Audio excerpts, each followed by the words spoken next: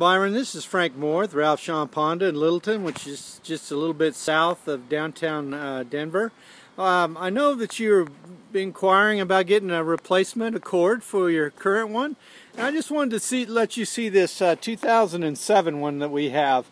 It's only got just a hair under 40,000 miles on it and it's just a nice looking vehicle, been well kept, and I just thought you might want to come in and take a closer look.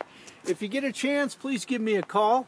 Uh, my direct line is 214-675-6714. Hope to hear from you soon, Byron. Thank you.